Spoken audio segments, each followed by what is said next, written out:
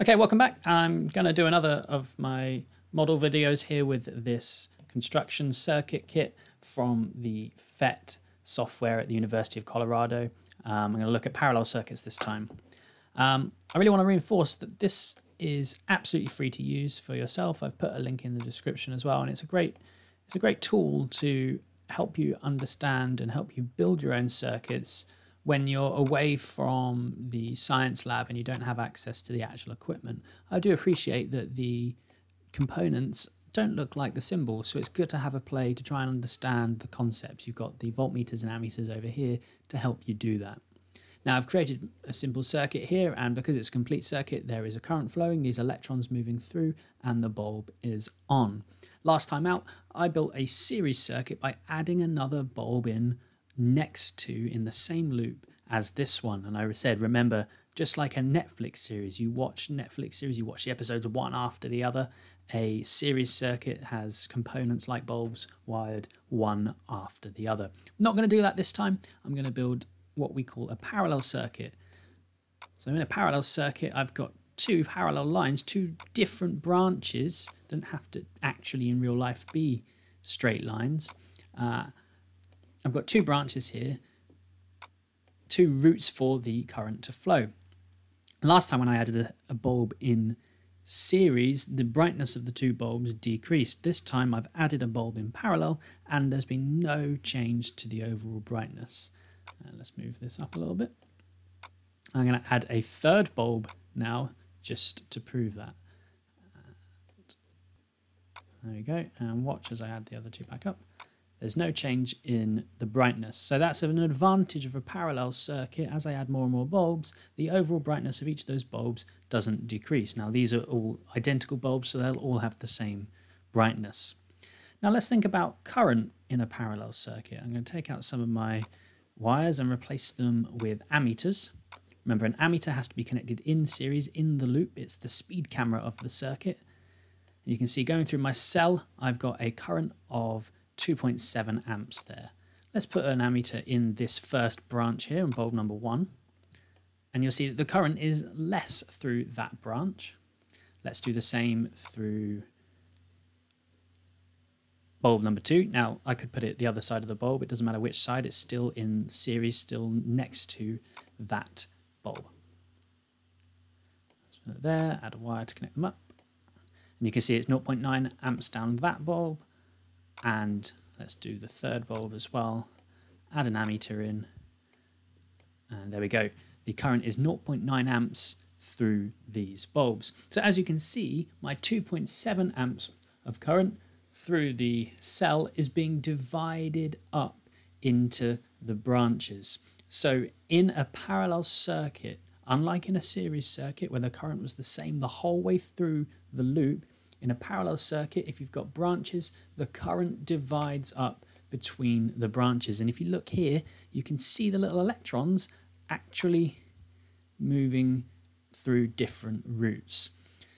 Rule with a junction here like this one, the current going into the junction must be the same as the current going out of the junction. So I've got 2.7 amps coming down here, 0.9 amps coming out to the right here down that first branch, which means the difference between the two must be what's going down further on. And look, 1.8 amps down that branch.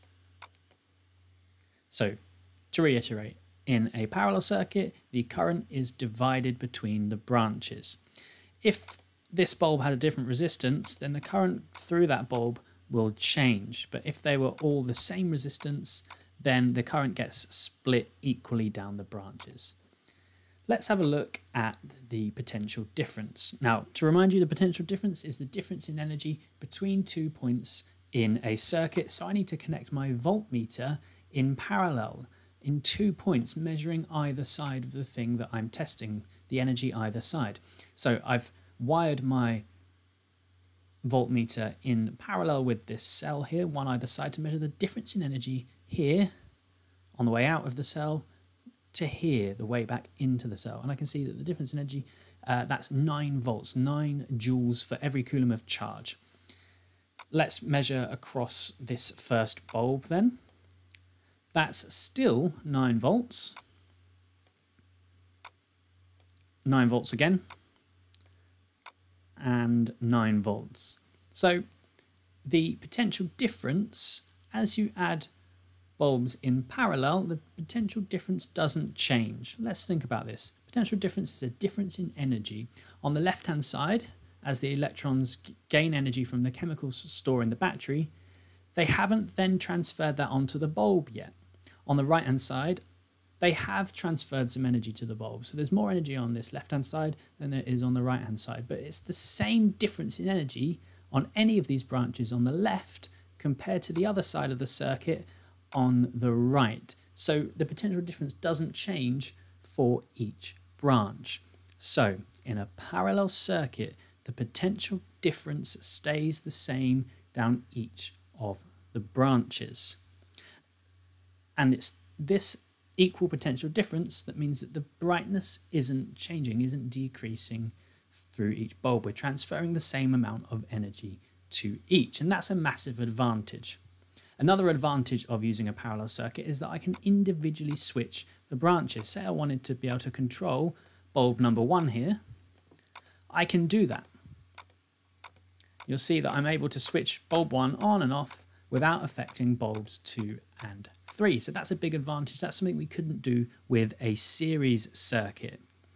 However, there is one disadvantage that I'd like you to know about for a parallel circuit. Suppose I added a fourth bulb here in parallel. What I want you to do is I want you to watch what happens to the current through the battery here as I do that.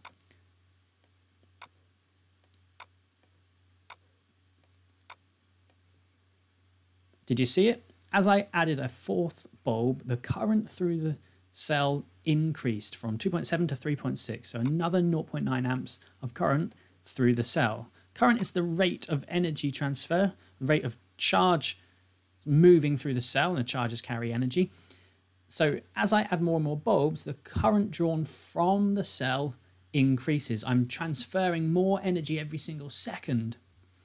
And if that's the case, then my cell is going to run out of energy sooner. It's going to have all the chemical energy transferred sooner. So the more bulbs I add in parallel, the more quickly my battery will go flat, as we say.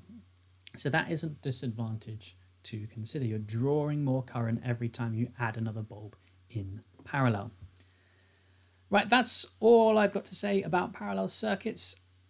Please use this wonderful software to your heart's content. There's all sorts of things to play with here. It will really help your understanding of circuits, which I appreciate is not the easiest topic, particularly when you're having to learn at home and without the equipment in school. So use the link in the description, have a play for yourself, and I shall see you in a future video. Goodbye.